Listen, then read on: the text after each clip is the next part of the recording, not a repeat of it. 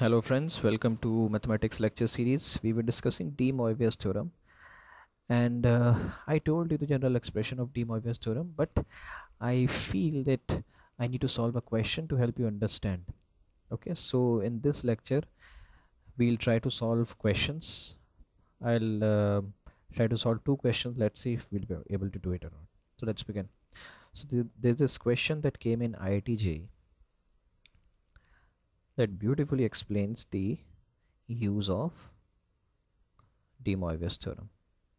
So we have z is equal to this plus root 3 by 2 minus iota upon 2 to the power 5 and they are asking then the real part of z or the imaginary part of z what will be the value? How to do it? Very simple. Can you tell me can I write this expression in polar form? Okay. Root 3 by 2 is nothing but if I want to write it in cos form. So this is nothing but cos 30 degree. Okay. This is nothing but cos of 30 degree and this can be written as i sine 30 degree to the power 5 the magnitude is 1 root 3 by 2 whole square plus 1 by 2 whole square is, is nothing but 1 so I have skipped this one here. What about this one? Now I want to find the angle for which the cos is positive and the sine is negative. Cos is positive sine is negative. So this is in the fourth quadrant. This angle lies in the fourth quadrant. So what will be the angle? This will be nothing but cos of 330 degree cos of 330 degree is equal to root 3 by 2 and this will be plus i sine 330 degree.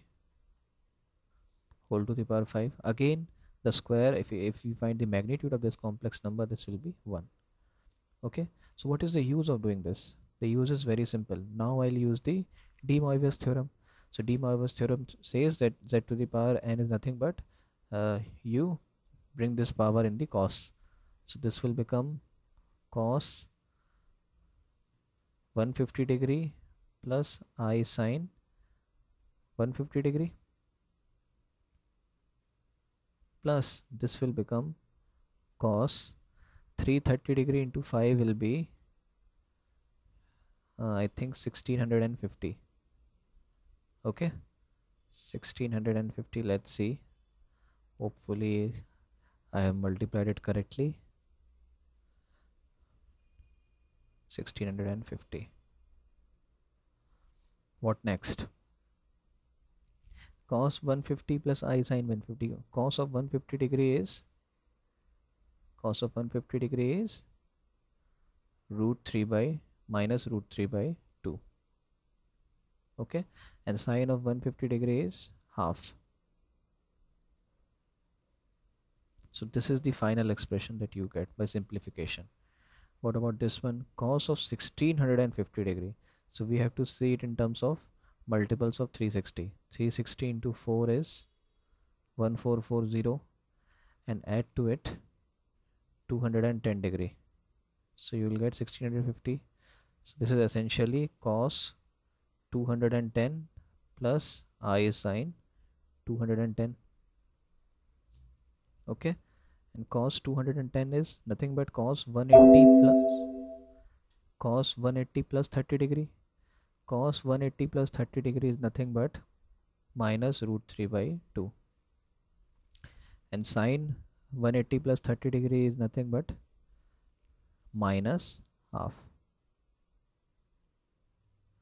So minus root 3 by 2 plus i by 2 so you can clearly see i by 2 this cancels out and finally what you get?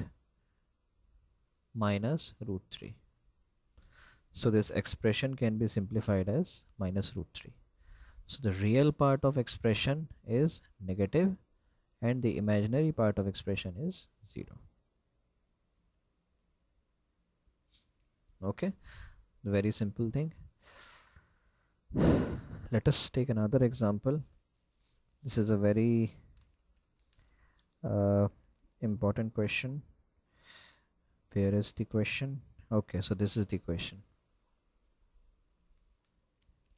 Question is we have to solve for k is equal to 1 to 6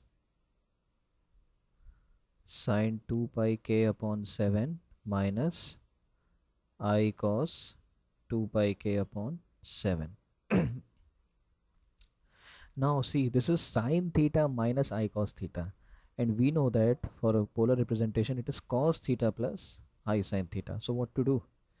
If I take a minus i common outside so this will become I'm taking it outside so this will become cos of 2 pi k upon 7 and this will become 1 upon i sine of 2 pi k upon 7 okay this minus 1 can be written as i square. I can replace this with i square. So this will become let us this let us assume this whole thing is uh, a. So cos a plus 1 i will cancel out i times sine a. Summation. Okay so this is a constant so I can bring it outside of summation. So minus i summation cos a plus i sine a. And this is starting from k is equal to 1 to 6 now we know that if we want to make it if you remember if I if I want to find the seventh root of unity if z is equal to 1 and if I ask you what will be z to the power 1 by 7 so what you will do? You will say z to the power 1 by 7 will be nothing but using de Moivre's theorem 2 pi 2 pi k upon 7 plus i sine 2 pi k upon 7 and the value of k will be start starting from 0 1 2 3 4 5 6 there will be no 7 these are 7 roots. Okay so just see the expression. We have minus i. This is starting from 1 to 6 and we have the same thing. 2 pi k by 7 plus i sine 2 pi k by 7 so if I start it with 0 then I will get all the roots of unity. But for that I have to subtract one thing uh, the value of k is equal to 0 which is nothing but 1 okay cos 2 pi into 0 upon 7 i sin 2 pi into 0 upon okay so I have to subtract it. So this will be minus i. This is nothing but sum of the roots. This is nothing but sum of the roots of sum of the seventh roots of unity okay?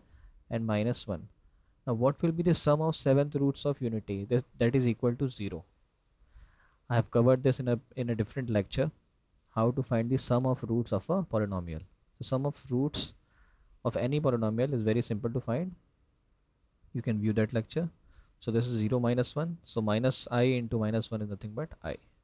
So final answer is i. Okay? So stay tuned. Time is running out. We'll meet in the next video lecture with a new topic Thanks for watching.